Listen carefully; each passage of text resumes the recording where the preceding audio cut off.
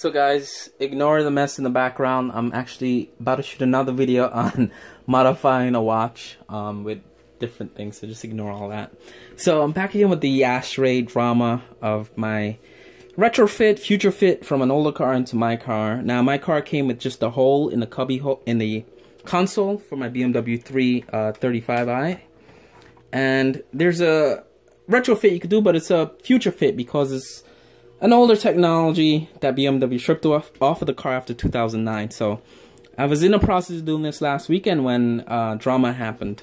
Now, the drama was I went out to, so to do this retrofit, you need to buy an ashtray from an older BMW car, and you get one of these online. I bought this on eBay for $25 about three weeks ago, two weeks ago, and I attempted to do this last weekend. And this unbeknownst to me, even after reading the write-ups on the forums on how to do this modification, didn't realize how over-engineered this simple ashtray is. It's an ashtray that goes into a BMW 3 Series from 2005 to 2008, and it is the most complicated thing I've ever seen in my life. And simple ashtray, the lighter elements there, you put your ashes in there, and that's it. That's it. I think you could use this as a 12 volt socket if you want to charge your cell phone and it has an LED ambient light, which if you're buying one of these um, from eBay or used, you could just basically transport this. If you have a 2009, 2010, and 11, 12, and 13 uh, for the coupes and convertible, you could rip this off and put this into your car. Just tap in into whatever gray with a red stripe and brown wire, or is that red with a gray stripe? I think it's gray with a red stripe and a brown for ground. So you tap this in and you can put this into your new uh, sunglass cubby tray and you get the nice LED ambient BMW glow right there to match up with the rest of your car. Now, in doing this project last week and on camera, it was all candid, you guys saw my mishap, I assumed, like most people would, even after reading the write-ups, like I said, that this ashtray, um, basically, I'm sorry, when you buy this, all you need is before I even explain what what my drama there. All you need from that is this, right? To put on your new piece. The piece I purchased was from ECS Tuning, and that's the parts number there. You could pause the video. I'm not even gonna read that out. And I bought this from a really great. Oh wow, BMW Group. Blah blah blah blah blah. Pause the video there. So I bought it from a really great website, ECS Tuning, right there. I did the unboxing. Uh, two weeks ago, I believe, on YouTube. And this was $25 for this. And um, their prices in EC ECS tuning, I realize, goes up and down. It's like sort of like Amazon. If you have stuff in your cart for a long period of time, you realize that sometimes the prices are, are lower, sometimes they're higher. But um, believe this is now like 27 or $28, but it's going to be between 22 and $30, I guess, for this piece. So all it is is a cubby hole that you can put your stuff in. It fits keys, um, small cell phone, sunglasses, um, coins, money, wallets, and it's what you want. And it closes, has a nice close, closing lid. Now, with this, the way it's sold, it doesn't have the trim on there. And if you have a silver trim, a wood trim, whatever you have in your car, carbon fiber, basically you could just transplant the lid from an ashtray, a card that came in an ashtray, onto this. So it goes on real simple like that. Now, seeing the pictures online, I thought it was that easy. Buy that uh, part and then buy an ashtray from a BMW car. $25 and then it was $25. $50 for this. You know, not bad. It gives me a little privacy. It upscales the car a little bit. Instead of just having a big hole in the car, crater in the console. So I got this and I was attempting to take the wooden piece off. And I just assumed it's just a wooden trim on the plastic lid, and that's it. So I started the prise you guys saw in my last video, and this came off, it flew off, uh, or broke off rather, and it chipped both ends where I was prying. Now, the write-ups you all see will tell you there is a little slit right on opposite ends of these that you put your butter knife in or pry tool in there and you pry up. Now, the wood, when it was on, it was seamless. I didn't realize it's wood trim. And this is not even one piece. This is a thin sheet of what looks like a laminate wood aluminum trim there, and it's all metal underneath, so it's like a metal sheet, aluminum sheet, like a wood trim there, and then you have that little trim there, and then below that you have two layers of plastic, and that's just the lid for the ashtray alone. So now what I was doing, I was prying here up like that when I should have been prying the anchor plastic underneath. Now what you want to do is just stick your pry tool in there and slide it. I'm going to just do it real quick in front of you. So it's going to be a little slot there, but you want to be between the plastics, not between the wood and the plastic. So I'm just going to pry up. And the clips on this is very sturdy. I did this a couple of times and didn't break any clip. And this this one came out of an older car. This came out of, uh, I believe, a 2006 or 2005. So it is really, sorry, I got dark. Why did it get dark? Easy to pry that off. And there you go. Voila, it's off. Now, this anchors in there with one, two, three, four, five clips.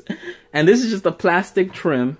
So you have the the spring lid there, this plastic, and then you have you have like three layers for the ashtray lid, which is just crazy over engineering.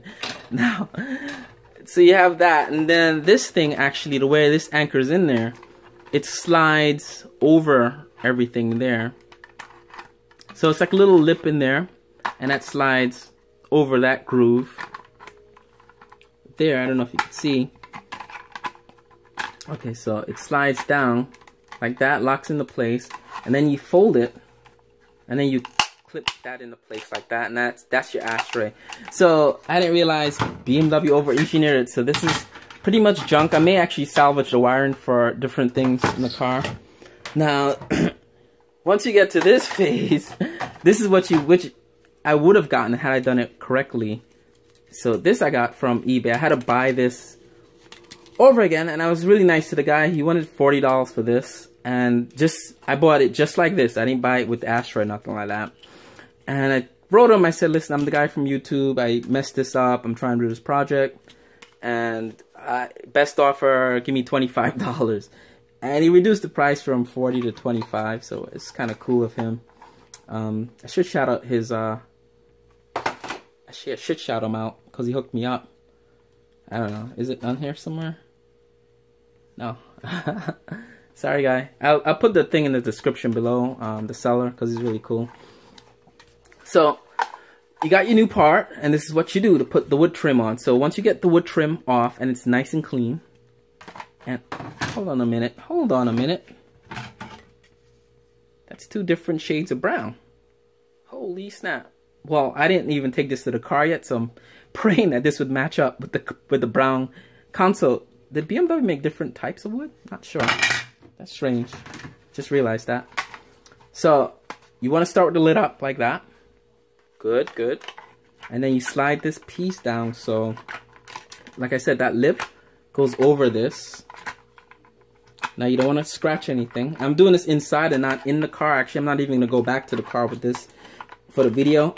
I already shot enough video of this thing. And this should have taken me like, I don't know, under 10 minutes to do. But I got the little hiccups with the over-engineering of the ashtray lid. Who was going to expect that? You know, who's to really expect that?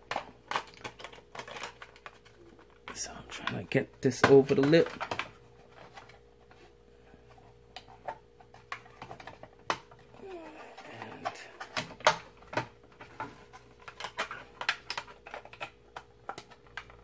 okay, so it's over the lip. And you will get a little bit of grease on the top there because this is grease, that latch there. I'm just going to clip that into place. And voila. Make sure that's closed. That seam there's one. And this goes into the car later on to maybe tomorrow morning. Right now it's it's really late. It's almost 11 it's my Seiko 5 there. So put this in the car in the morning. Maybe I'll do another um, video whatever but that's it guys that's how you do this modification ashtray lids are apparently really over engineered at the BMW plant so and that's it and you have your nice um, cubby holder pocket so it makes your car looks nice. You can put valuables in there without people being able to see and rob you. That's it, guys. Bye. So what's up, guys? Um, finally got it installed. I figured I'll just show you guys. Might as well complete the journey. I've started with you guys that's been um, following this video. Now it was really easy to do. Actually, the third time I removed this, in the last video I removed this, it was super easy to do. Because once you remove it the first time, I don't know if every consecutive time becomes easier and easier with the clips. It just literally pulls right out. All I needed was was a trim holder and I pried it up. Basic trim. You could use a butter knife or a flathead screwdriver, but this is a plastic and it won't scratch the wood. So it came right up. I didn't even remove the shifter. With the shifter still on there, I just pulled this up and just um, sort of pulled everything over that. So that's really easy to do. And the wood trim actually looks really good. Now it's funny enough that this wood trim is lighter than the other wood trim that I chipped and from that came from the ashtray. So this actually, I don't know if you could see, it matches the wood trim in my car a little bit better um, than the, the darker one. So I don't know why that is, but anyway, that's it. It's installed. Um, it's very smooth, it's functional. It actually makes the car look a lot more um, high end. I have no idea why BMW got rid of this for the 2009 3 Series onward in the for the E90. So here's my glasses. Could hold my glasses. And um, sunshades, it's a sunshade pocket, so it holds sunglasses as well and I have keys. So if I'm driving, I just want to put my keys in there. I don't normally do that, but it hold keys and valuables inside of that and no one's gonna um, see it from outside the car with just a hole there where it like it was before that pocket. Anyone could easily look in your car and see what's in there. So this it adds a touch of class and a touch of privacy to your car as well as security because no one's gonna be um, able to see what's in there from outside the car. And most likely people might think it's an ashtray if they are familiar with the E90 and no one's gonna go searching an ashtray for money or, or valuables. And that's it. That's the um, sunglasses uh, modification of this sunglass holder modification or it's called the ashtray delete if you have a pre pre 2009 3 series e90 you delete the ashtray and you put this there. If you have a post 2009 2012 or 13 e90 then e91 e92 coupes convertible then this is gonna be um, i guess a hole in your console retrofit to a sunglass holder with a lid. So that's what I did. I retrofitted this to um, replace the sort of the pocket hole that was there. The crater is what I call it. So it looks good. Um, that's it, guys. Um, gonna drive off now. Enjoy the weekend. Talk to you guys later. Bye.